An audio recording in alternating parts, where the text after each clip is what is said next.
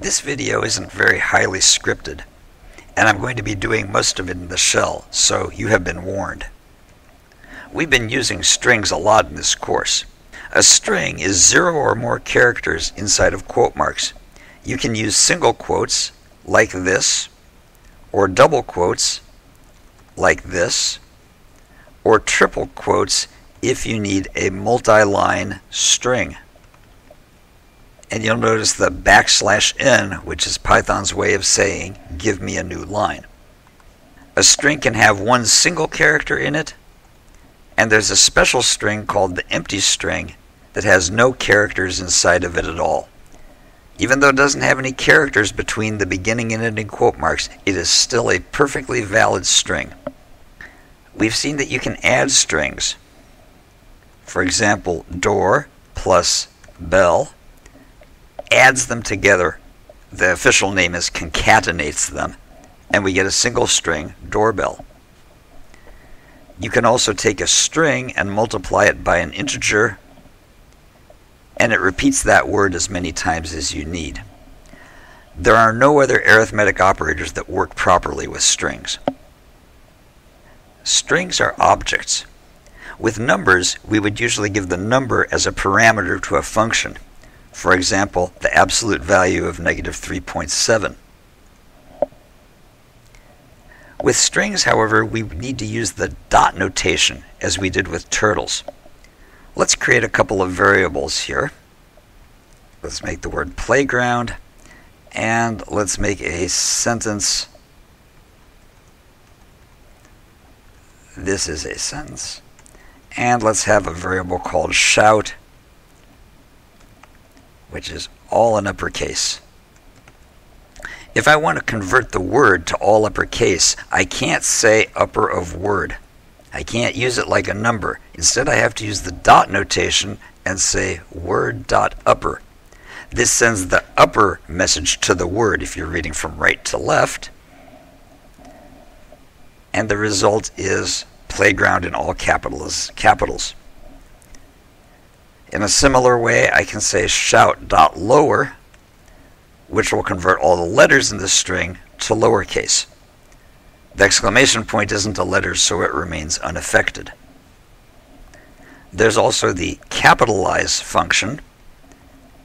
If I say sentence.capitalize, it converts the very first letter in the string to a capital letter. Notice that it capitalizes only the first letter. It does not affect any of the rest of the word, so it won't capitalize every word. It would be nice if you could do that, and later on in the course I may show you a way to make that happen. There is one exception to this dot notation. If I want to find the number of letters, or number of characters, excuse me, that are in a string, I can't say word dot length. That doesn't work. I have to say length of word. So that's the one exception to dot notation. I've shown you upper, lower, and capitalize. Another useful function is strip, which gets rid of leading and trailing white space on a string. White space is defined as blanks or tabs or new lines. Let's take a look at this program. It asks, what's your name? and tells you that's a nice name. This sep equals empty string at the end tells Python not to put extra blanks between the items that it prints. Let's run this and run it legit. I'll say my name is David. It says, that's a nice name, David. You'll notice that the cursor for the input was right next to the question mark. What happens if somebody decides that they're going to do this? What's your name? They'll put an extra blank and they'll say Joe. And let's put a couple more blanks at the end. The problem is that your name has those blanks inside of it, and so they'll say, that's a nice name, comma, blank, blank, Joe, blank, blank, exclamation point. Hardly a nice thing to look at. Here's what we're going to do.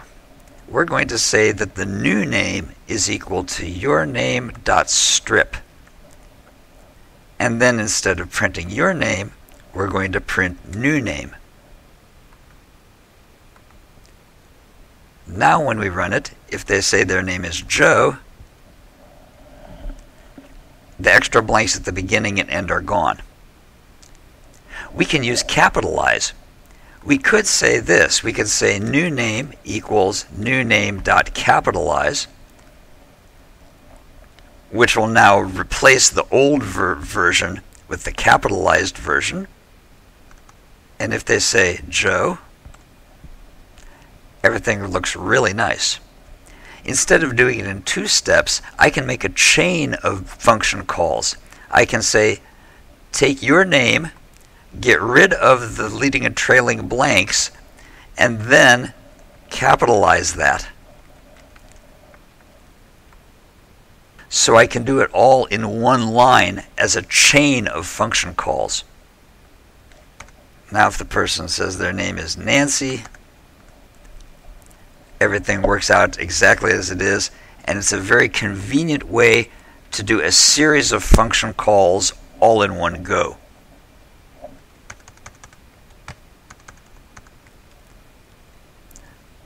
There are a couple of other functions that you might find useful. If I say word.lstrip, it gets rid of blanks or white space at the left. If I say word.rstrip, it gets rid of trailing white space at the end of the word.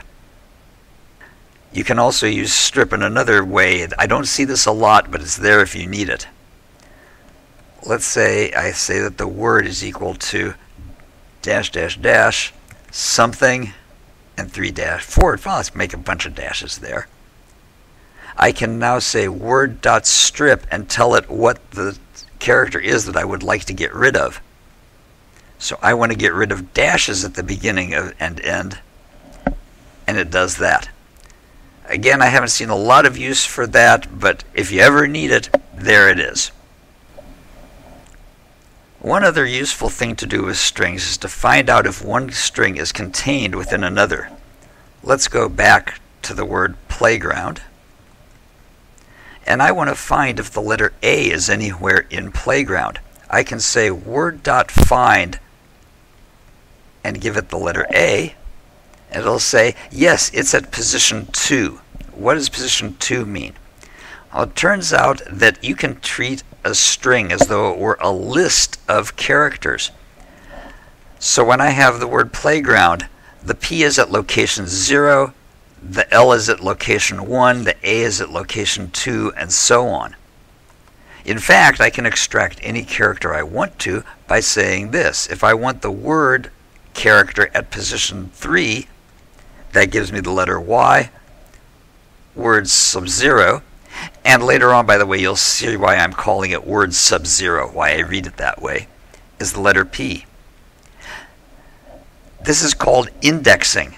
The indexing operator is a square bracket, and the number in between the square brackets is the index that you're looking for. What would happen if I tried word of negative 1? The answer is it would give me the last letter in the string. Word negative 2 would give me the N. What happens if I go off the edge of the universe? The length of the word is 10. So if I try to get to word 11, it'll say the string index is out of range. That index number is too big for the word. Same thing if I go off at the negative end. If I say word sub negative 11, it'll say that the word index is out of range. Let's go back and look at word again. I can do find for more than one character. If I want to say word.find YGR, does YGR exist anywhere in Playground? The answer is yes, starting at position number 3. What if I try to find something that isn't in the word? Like Igor. Answer is it gives me back a negative 1. That doesn't mean it's the last character. The negative 1 is special. It means not found. Let's take another word here, like bookkeeper. I like that because it has three sets of doubled letters in a row. And I want to find the letter O it will find the first occurrence. It won't find all of them. It will find the first O, which is position number 1. Similarly, other dot find of K will find it at location 3. 0, 1, 2, 3. So find gives you the index of the first occurrence of a string inside of another one, or negative 1 if it's not there at all. There's a function called index which does something similar. If I say word.index of GRO, it'll give me 4, and that's correct, because if we look at it, 0, 1, 2, 3, 4 is where GRO starts. However, if I try and find something that's not in the word, like GROW, it'll give me an error. If you want your program to give an error when something isn't found, use index. Most of the time, though, you'll want to get back a negative 1 rather than getting an error so your program can continue and do something useful, usually using an if statement.